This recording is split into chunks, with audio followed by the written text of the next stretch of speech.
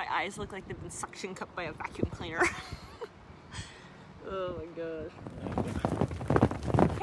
So welcome back to hashtag Team Fuego. So um, today I actually, so I swim. So I'm an equestrian and uh, every single athlete has to pick and choose how they, um, how they work out and how they get fit, how they get their endurance. There's so many different types of workouts from different types of endurance workouts being running, swimming, treadmill, um, Peloton, uh, or even like muscle building where like you could be doing at home exercises where you don't use any equipment or like weightlifting. Um, there's so many different options in terms of exercise, but um, I happen to find like the sweet spot of, of everything, right? So um, everybody also says, so as good as exercise is for you, the other thing everybody always rec- recommends is, um, is meditation. And for me, I'm like, I'm like really bad at just sitting in silence and swimming is a lot of silence because you, uh, you know, I mean, you're underwater, right? Like, and who am I, the little mermaid to like sing and keep myself occupied?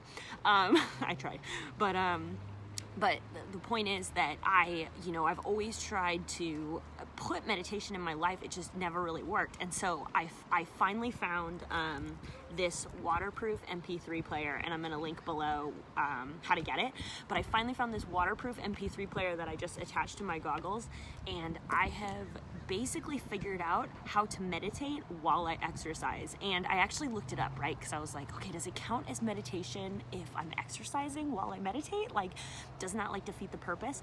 But um, to my pleasant surprise, I found that when you um, when you meditate while you exercise, you actually get a better result from the exercise and a better result from the meditation. So I, coming from somebody who like couldn't figure out how to meditate at all, now I found a way to be super efficient about it and meditate while I swim.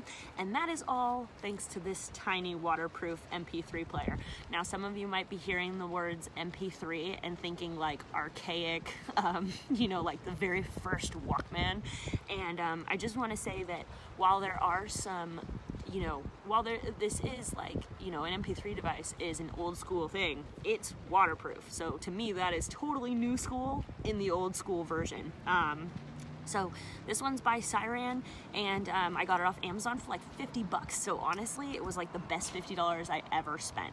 So um, I linked below so you guys can grab your own. Um, but honestly, like literally, um, changed my world. Changed my world from just exercise to creating like an exercise meditation that can literally it it, it I, I you know not many people i mean some people can but how many people can really say like i found my happy place like my real happy place that i like i found it you know not necessarily like i created it i found it um, so happy swimming